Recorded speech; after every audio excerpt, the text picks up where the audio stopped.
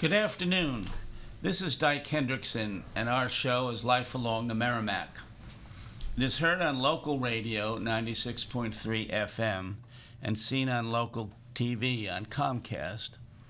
And in, a link is sent to organizations interested in the river.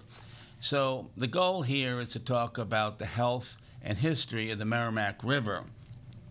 I'm a former journalist and covered the waterfront for the Daily News here in Newburyport. And on this show, we talk about some of the activities that are going on. Um, a lot of people are concerned that the river is getting dirtier, not cleaner. And um, this happens after heavy rainfalls when some of the sewage treatment plants upriver are overwhelmed because they get sewage in their apparatus, they get rainwater, and they just have too much liquid. So frequently, effluent or sewage goes uh, straight into the Merrimack River. That is not a good thing. And so, one of the things that we do here is talk about the health of the river.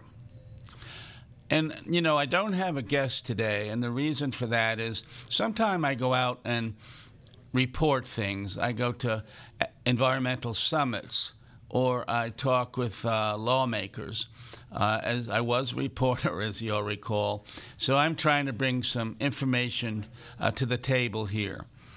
Um, this week, on Monday, I logged into a webinar uh, hosted by the New England office of the Federal Environmental Protection Agency. Now, the EPA is a big deal. we know that.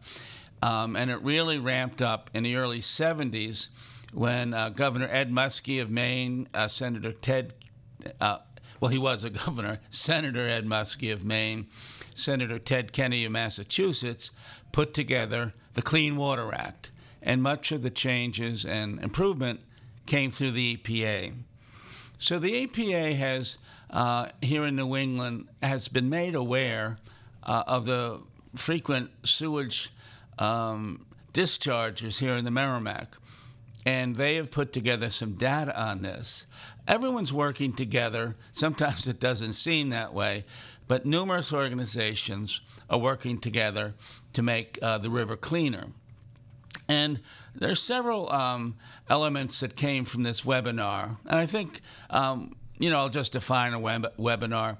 It's when you, um, the organization, you know, has its own um, starting point and they give out uh, numbers and you sign in and sign on to the webinar. So you're on online, you go to a, you know a URL and you see the information and hear the information that they're putting out. So rather than bringing several hundred people together, as frequently happens uh, with summits, um, they are acting from one place disseminating a lot of information, and uh, I was able to sign into that. One of the takeaways I had uh, from the data that they presented is that the biggest offenders here in the Merrimack Valley are Manchester, Lowell, and Haverhill. Uh, they're large cities, of course, but they're also cities that hook in both their uh, sewage pipes with the water runoff pipes. So, in a heavy rainstorm, as we've said, the sewage goes into the sewage treatment plant, rainwater goes into the same plant, and the plant can't handle all that effluent and all that water. So, they have a discharge, and that's how we have raw sewage going into the river. So, these three communities um, are, I wouldn't call it guilty, because they're aware of what they're doing and you know they're professionals who run it and they're trying to do the best they can but these are communities that have to uh, take a better focus on what they're doing um, and when you have Manchester, for instance, that's obviously in New Hampshire, so you don't have the same state officials as you do here in Massachusetts trying to get them uh, to come to the table and make improvements. This has been happening for a long time, and these sewage outflows, CSOs they're called, uh, are the things that put raw sewage in. And you know, something actually very interesting happened last weekend. The Merrimack uh, River um, uh, uh, Sewage Council and the um, the organization actually put out a the the Watershed Council actually put out um, a press release and a warning of not to go into the river. Now this was for June 22nd and 23rd, which we just uh, finished with because there's heavy rain that week, and this is very unusual. It does link up several points, though, because the sewage treatment plant owners and managers say, you know, we're not public health officers. We'll tell people in a few days that this has happened, but this is not what we do in life, is to say, we've had a sewage discharge, look out below. Uh, and by below, I mean downstream. But this is what happened this week. The Watershed Council was able to find out that several uh, major dischargers upriver had, had let a lot of raw sewage into the river, and they had a press release, and it was in local newspapers and on local radio and on websites. And it basically said there's a lot of bacteria this weekend. Don't let your children, don't go swimming. You know, don't let your pets into the water. And for the first time that I'm aware of, um, we had a middleman, and by that I mean um, someone who became aware, and this is the Watershed Council, and John Macone, who is the acting director of there, has been on this show and has talked about it. He's a former editor of the Daily News here in Newburyport. But, you know, he had a press release and said, look, there's a lot of effluent, a lot of bacteria coming down this weekend. Don't go in the water. So that, in my view, is a good thing. Um, the Merrimack River, as glorious it is, is one of the um, a river in very bad shape in a national basis. The you know the, the EPA that we just talked about, New England branch, has said that that we're in the top 20 of rivers that are vulnerable. We're vulnerable for the sewage. Also, uh, they're concerned about the runoff um, as there's more development upriver uh, there's fewer trees, fewer swamps, less marsh, and so you're getting a lot of runoff um, from, say, a shopping center or a highway. You know, there's oil, there's gas, there's impurities, and so also for that river, um, observers are concerned about the Merrimack. Now, of course, we all love the Merrimack. That's this is one of the great assets of this area, and we're actually when we talk about the development on the Merrimack River, we're actually coming up to two centuries. It's said that the beginning of mill life and hydropower in Lowell and Lawrence was about 1822. So we're actually coming up on two centuries of um, having industry on the river, having pollution in the river. Um, of course, the mills of Lowell and Lawrence and Haverhill and Manchester, many of these, in the old days, 19th century, just discharged, you know, effluent into the river. The river was orange, it was green, it was um, terrible things were bobbing around there. Now, sometimes terrible things continue to bob around. And in our era, we actually have syringes from drug users. Uh, they don't bob around, but they do get into the river. It's rather uh, of great concern. But again, that's why we're here. And another thing that was brought out at the EPA um, webinar was that efforts are being made to bring serious money into this equation. Um, con- congressional representatives, you used to call them congressmen, all right, Congresswoman Lori Trahan of Lowell and Congressman Seth Moulton of the North Shore have both signed on to a, a $500 million request for federal funds to begin reworking the systems in Lowell, Lawrence, and Haverhill. And by that, we mean separating uh, the sewage pipes from the water pipes. So if you had a big rain, the water would uh, go through the water pipes and into the river. It's not perfect, but it's a lot better than having it go into the sewage treatment plant. So even though at times we think that uh, the river is under great duress, which it is, um, things are being done. And this includes uh, not long ago, I came back and talked about the creation of the Merrimack River Commission, where municipal, state, federal officials are getting with um, environmental leaders, and they're all working together to see what can be done to uh, make a cleaner river. So things are happening. We're reporting them here on Life Along the Merrimack. And um, it was um, an interesting webinar. Um, one of the elements over the last week uh, that I was involved in as well is I went on a boat trip on the Merrimack River on Saturday. I went with Captain Bill Tapley. Uh, he was on the show several weeks ago. He's a captain of a small vessel, 24 feet, uh, called the Coastie. It used to be a lifeboat on a large Coast Guard vessel. He bought it from the Coast Guard. I must have been a lot of paperwork, I've got to say. And it holds six to eight. So we went out on the river, and it was interesting just seeing life along the river. Saturday was a beautiful sunny day, as you may recall. So there were a lot of fishermen upriver. Now, usually they probably go to the other end towards the ocean or onto the ocean. I'm talking party boats. Some a boat like the Charles uh, Lively Lady boat might have 40 fish, fishermen, and um, they would be either at the mouth of the river or they'd be uh, in the ocean itself. However, it was very windy. It was very choppy. So several of these fishing boats were in the river uh, rather than out on the ocean. But it was very encouraging to see them because they were all catching fish. And the stripers were running, and almost every boat, we must have passed 20 to 30 uh, boats, was pulling up a striper.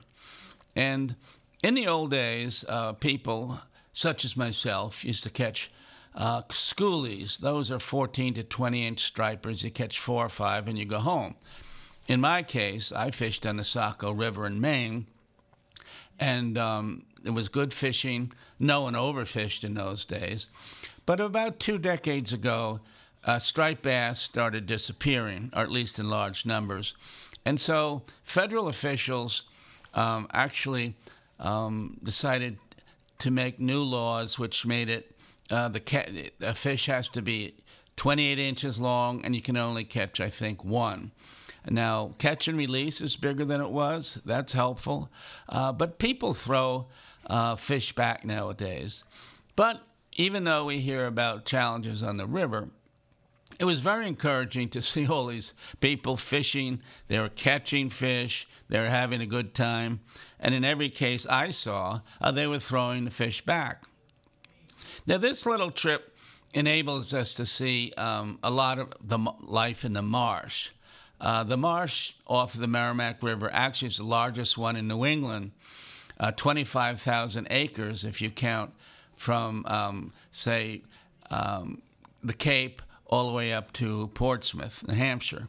It's um, you know it's what enables fish and and birds and all sorts of wildlife to thrive, and so we saw egrets, we saw hawks, we saw heron, um, we saw the nest of an osprey. now, this is technology at work, and I suppose it's a success.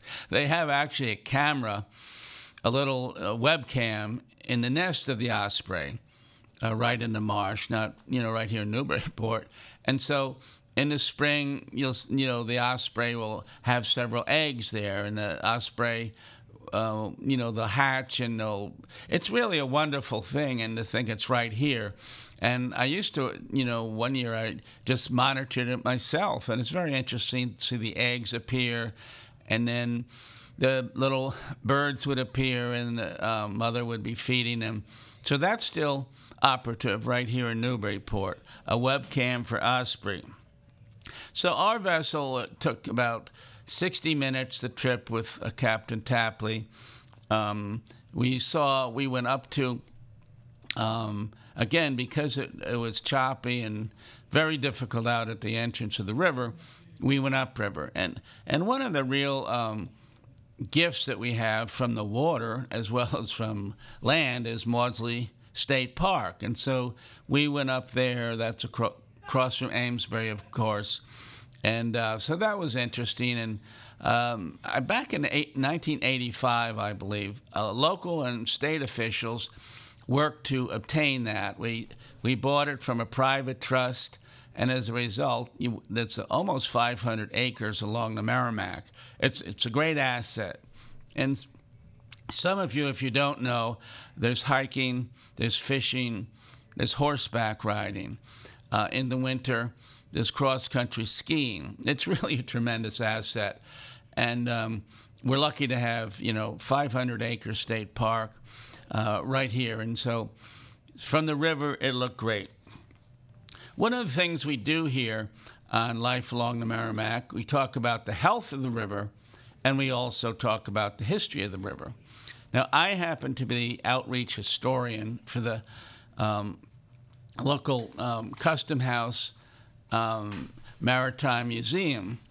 And one thing I do is write books. And I have a book coming out this winter called um, New England Coast Guard Stories Remarkable Patriots. And it is about the Coast Guard. Uh, the Coast Guard, the birthplace of the Coast Guard is in Newburyport, Newburyport itself was once the greatest boat building community in New England, which means the states, uh, during the colonial period, 1790 to 19 to 1810. And so I reach out, as it were, um, and I speak at groups uh, and I write books. And the other thing I do, I'm on this program um, to outreach and to talk about history as well as the um, health of the river. So, one thing I wanted to talk about um, in terms of history is uh, one of the earliest observers of the Merrimack River was Henry David Thoreau. Now, you might know that name from Walden Pond, and he was considered one of the first environmentalists. He would, you know, take uh, camping trips to Maine. He would um, live in the woods. He he wasn't he wasn't an effusive personality, I will say that. One of his closest friends said about him, I can love him, but I can't like him. Okay, so he didn't have much of a personality. he did a lot of writing, though, and we're talking now. He lived 1817 to say 1867, I'm thinking. And in 1849, he wrote a book called A Week Along the Concord and Merrimack Rivers. Now, he went on a trip with his brother. Uh, it actually, the trip was actually in 1839, but the book was published in 1849. In that interim decade, his brother died of tuberculosis. Um, but they had a wonderful time for about a week or two, canoeing, camping. Um, actually, along the, the title is along the Concord and Merrimack rivers. They spent most of their time in the Concord River, I must say. Um, we had adherents of the Merrimack River, but they were mostly on the Concord. They spent a short time in the Merrimack, and in part, I think um, Thoreau was kind of, um, I hate to use the term bummed out. He was displeased because new factories were being built on uh, the Merrimack River. Now, the first factories, as we said, started in 1822 on the Merrimack and Lowell. Um, he would go up to Lowell in this time, which was 1839, and he, you know, could see already that uh, the factories were um, polluting the river. They were uh, putting their own effluent waste products into the river. Uh, they were, you know, changing the contour, the view contour of the riverside. And he said, you know, this area up near Lowell's a mere wastewater, as it were um, a poor area bearing little from Lowell to the sea. So he was kind of saying, and this is 1839, that um, the industrialists who were using hydropower in a big way um, were making the, Mer- they're taking the Merrimack for their own. They were ma- making money off it. They were hiring people, and of course, in the 19th century, thousands of jobs were created in Lowell and Lawrence and Manchester. Uh, and that is one of um, history's questions that we always wonder about. Uh, they polluted the river, made it unswimmable, undrinkable, and yet it was a period when there were many immigrants coming to this community and it provided jobs. I happen to know this because I wrote two books uh, focusing on elements of factory life. Uh, they were about French Canadian people who worked in factories in Lowell and Lawrence and Manchester. In Portland, uh, in Lewiston, Maine, and that type of thing. So I have had many, many hours of studying of the uh, the hydropower of the textile factories in Massachusetts and New Hampshire, and um, there's good to be said for both sides. Um, but it was interesting to listen to Thoreau all the way back in that period of time. Again, he took his trip in 1839. He wrote the book in 1849. He did have a funny remark about his, his book, which was, as we say, um, A Week Along the Concord and Merrimack Rivers. He published it himself, and he published about a thousand copies. And so after a year or two, someone asked him how many books he had in his library, and he said, I have about a thousand volumes. Unfortunately, about 900 are written by myself. In other words, he did not sell many of that book. More, you know, later on in life, he sold many, but in this particular case, I think he had a surplus for quite a long time.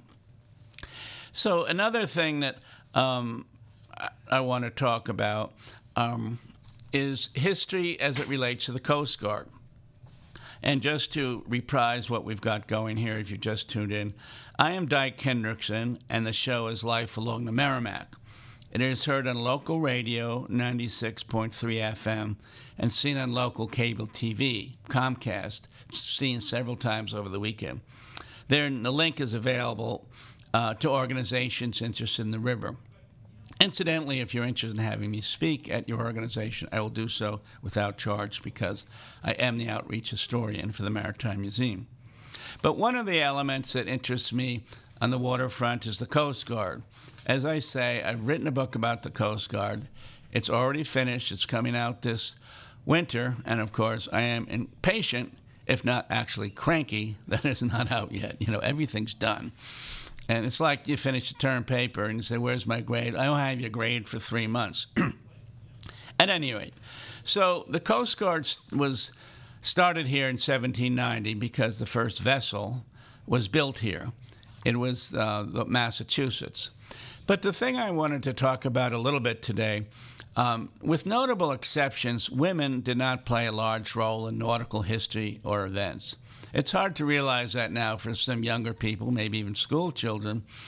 But women did not go out on vessels, really. They were not part of the shipbuilding process, really, other than to be supportive, maybe run a restaurant or um, be involved in um, taking care of other people's children. They did not go out. But we, this was a very large area for the Coast Guard eventually. And females did really begin joining the Coast Guard in the 20th century. Um, in 19, in, during World War I, for instance, which was 1914 to 1918, two 19 uh, year old twins, Genevieve and Lucille Baker, volunteered to serve the Coast Guard in World War I in Washington, D.C. They were the first women to don a Coast Guard uniform, and they served in the headquarters in Washington. And I write about these things for the website, the Coast of the Maritime Museum, which you can look up under Custom House Maritime Museum. Each week I write a different column on the history of the river.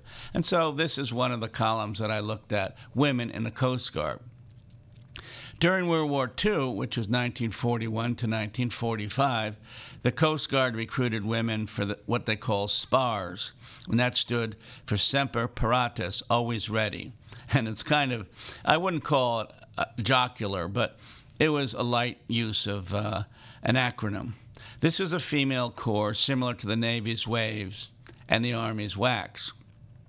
For the war effort, the Coast Guard um, estimated they would need 8,000 enlisted women and 400 female officers. Well, they actually recruited about 12,000. And this was remarkable because women of this era were patriotic, they were hardworking, they, wa- they wanted this opportunity to help the country. And so they um, were support staff in many areas, um, secretaries and clerics, and not clerics, they did clerical work although they could have been clerics, I imagine. But they did good things. Um, after the war, and, and this, you know, is puzzling today in the modern world, um, almost every woman left the Coast Guard. So they recruited 12,000. By 1956, the Coast Guard had mustered them out. And there were only a few hundred women in the Coast Guard after having 12,000 in just a decade before. Well, that being said, things moved along.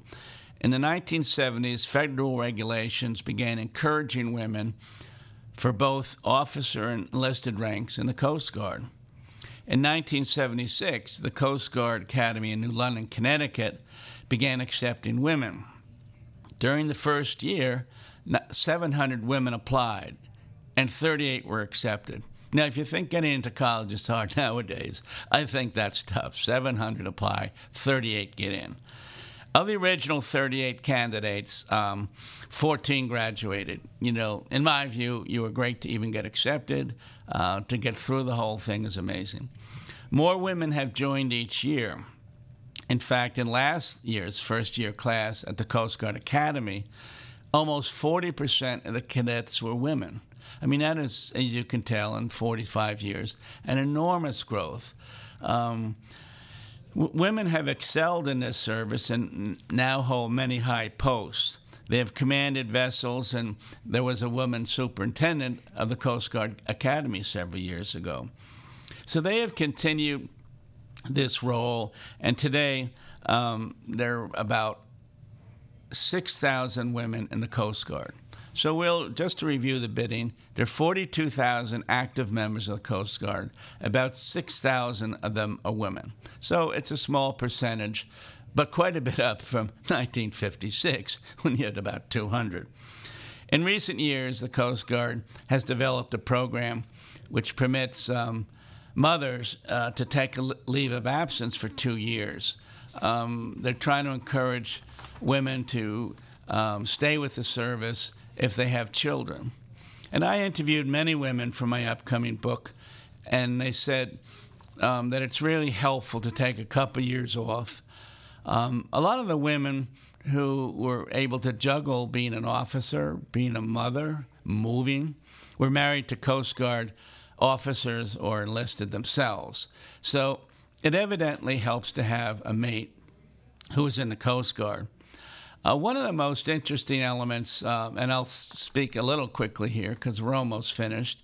Um, one of the people I interviewed for my book was a woman involved. She was a um, captain um, and pilot of a helicopter that was out on the rescue of the Bounty. Now, this was a wooden vessel. It came to Newburyport in 2012.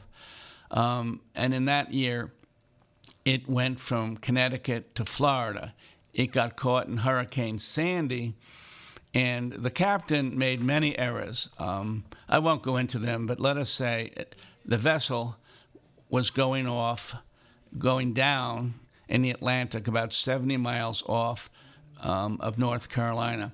So one of the women I interviewed from the book, Jane Pena, was the pilot, and so they got the call. Uh, they, you know, get ready to go out. Uh, she's in North Carolina itself. They get into the chopper. They they have the position of the vessel which is going down. And I said, "What was the first thing you thought of when?" you know, you were roused at 5 a.m. There's a hurricane, 60 knot winds, the seas are high.